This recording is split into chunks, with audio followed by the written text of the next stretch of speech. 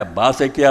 इबन अब्बास को छोटा बंदा नहीं। रसूल करीम सलाम के साथियों तो आपका चाचा दाद ऐसा पाई है कि अल्लाह के रसूल सलाम ने वो दुआ फरमाई जी बरकत ना कुरान मजीद का सब तो बड़ा आलिम बनया उम्र छोटी थी नबी सलाम की हिफाजत के वक्त, मगर इस दर्जे में पहुँच गया भी हज़रत उमर रज़ी अल्लाह तला अपने जमाना हुकूमत।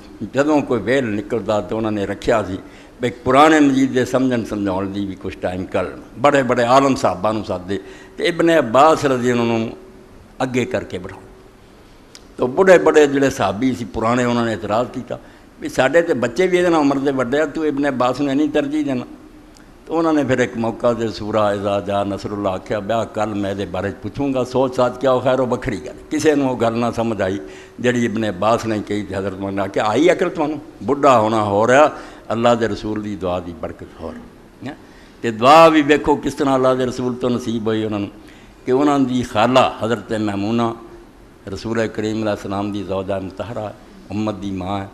हज़रत इबन अब्बास एक दिन अपनी खाला दे कर रहे और उत्थे लेट गए, सौ गए।